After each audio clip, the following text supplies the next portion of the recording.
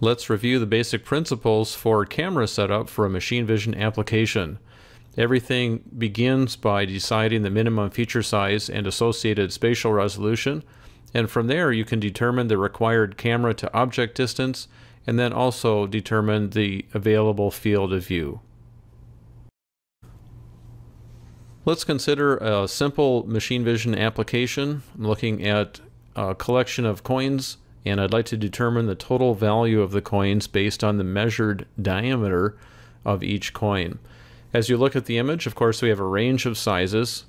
The dime and the penny are the most similar, and these are the ones that guide our choice for minimum feature size.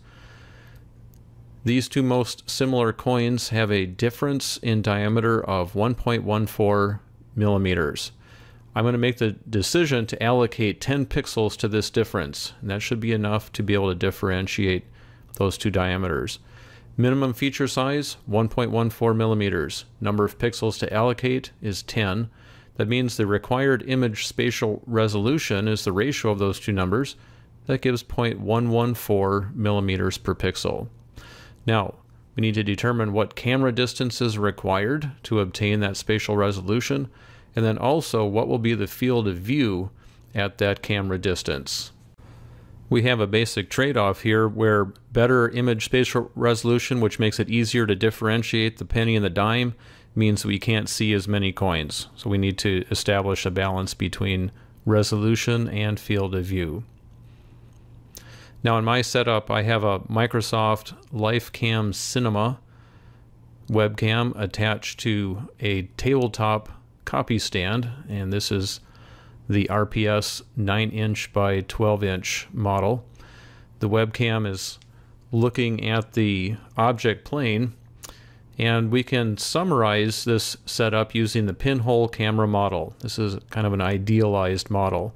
It's based on a projection center in the middle uh, essentially the lens. We have our image sensor on the top, and then down here at the bottom we have the object plane. Now the pinhole camera model allows us to work with the object plane spatial resolution, the image sensor spatial resolution, I'll call that RS prime, and then we have the distance from the projection center down to the object, the distance from the projection center up to the image sensor. And it should point out that both those values are unknown. The projection center, however, is not the only way to measure distance from the object. We can pick some reference feature on the camera body itself down to the object plane. And I'm going to call that distance d. Typically that value is going to be somewhere from the object plane to the middle of the camera body, and there's some difference, small d, between that point and the projection center. Here's a, another webcam model. This is the LifeCam Studio. I point this one out because in particular, a nice reference mark is that join between the black and the silver part of the body. So you can have your reference mark in different different places depending on your camera. Now, by the geometry of similar triangles, we can say that the ratio of these two spatial resolutions in both the object and image planes is equal to the ratio of these two distances, that is, the two distances from the projection center. Now, the distance from the pro projection center down to the object plane is also based on knowledge of that external reference mark distance. So let's go ahead and solve for that distance capital D, and we have this simple equation. Now this ratio is composed of two values for which we do not have any information. I'm just going to represent that ratio by the so-called camera constant K. Now looking at this basic equation, we see that little d, that's the distance from the external reference to the projection center. Capital D is the distance from the reference mark down to the object plane. Based on looking at the units here, we see that the units of our camera constant is pixels. Now, as I say, the camera constant is unknown. Also, this little d distance that's internal to the camera is also unknown. How do we find these values? Well, we can measure the camera distance and the spatial resolution at two or more distances. We either solve a pair of simultaneous equations or find a best fit regression line. Here's an example. I took some measurements at two different camera distances, D1 and D2. I took an image of, an, of a ruler. I found the millimeter marks in two different places on the ruler and the associated pixel values at these two locations and came up with 0.163 millimeters per pixel for the first measurement. Second measurement, where the camera is closer, came up with a different value, 0.0641 millimeters per pixel. Now with two equations, you can solve that pair of equations simultaneously and you come up with the camera constant and that distance from the projection center to the reference mark. In this particular case, the value is negative because my reference mark is actually the very front edge of the webcam, and that's in front of the projection center. If we go the other direction, then we would end up with a positive value. Now, the field of view is the total distance that can be imaged in the object plane. Now looking at the object spatial resolution times the number of pixels that are available in our camera, that is the number of sensor pixels, and let's differentiate between horizontal direction, n sub h, and vertical direction, n sub v. And let me come back and call that field of view in the horizontal direction and field of view in the vertical direction.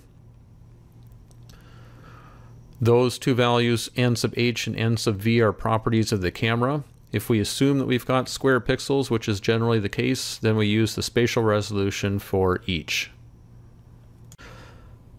Well, let's finish up by taking a look at a plot of camera distance and field of view as a function of spatial resolution. This is based on knowledge of the camera resolution, 1280 by 720, two or more spatial resolution measurements, and from there you can calculate the camera constant and that little d distance. Here I have the two values or two measurements that I showed you earlier. That's based on the slope function in Excel, and this is based on the intercept function to get at little d. Here I'm using the equations that I developed earlier to calculate the camera distance and field of view values. Just a reminder, the coins application requires 0.114 millimeters per pixel for spatial resolution.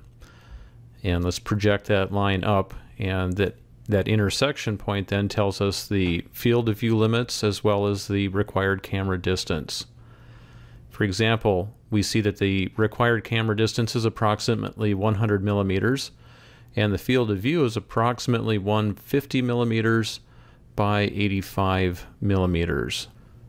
Now I'll finish up by showing you how well this worked out. I'm using NI Vision Assistant for this purpose. I've already adjusted my camera height, capital D value to 100 millimeters, taken an image of this centimeter ruler. The small marks are in millimeters. Look at the pixel coordinates there, 597 to 606 as I span one millimeter and that means the spatial resolution is 0.11 millimeters per pixel. You could also try repeating this for a different millimeter value. I'll also try this out for 10 millimeter span. Looking at those two coordinates again, taking the difference, come up with 0.112 millimeters per pixel. That's an error of minus 1.8% compared to the target value of 0.114 millimeters per pixel. So it looks like the calculated distance d worked out nicely based on the equations.